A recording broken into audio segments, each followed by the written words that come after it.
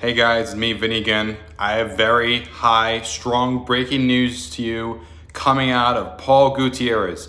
At long, long, long last, Tom Flores has at finally been inducted into the Pro Football Hall of Fame as a member of the 2021 class.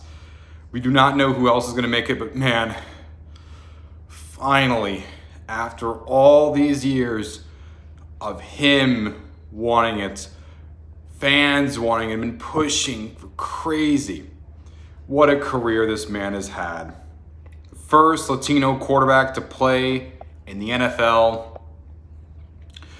First Latino quarterback to win a Super Bowl uh, when he was a backup for the Chiefs.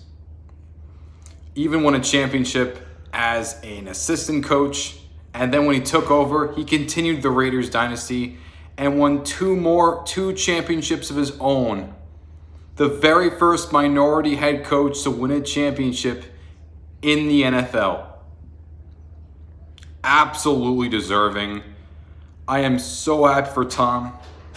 Finally, was a finalist in 2019, didn't make it. Many thought that last year he would have made it. He didn't, but it doesn't matter. He is here, he is with us and Tom Flores is now going to Canton and will get his own gold jacket and his own bronze bust like he so greatly deserves. Congratulations, Tom, to you and your family for everything that you have done for the game. I can't wait to see you one day when I go to Canton myself and see it. And those Coors Lights commercial, man, those were fun. But Charles Woodson will probably get also inducted today. And for all I know, guys, it's just the beginning. This is just the beginning, guys. Soon, we're going to push for Cliff Branch, Art Powell, Lester Hayes, Amy Trask, Steve Wisniewski, Wilkin Wolfenbach, and many other more. But until then, congrats to Coach Flores. I salute you. Welcome to Canton.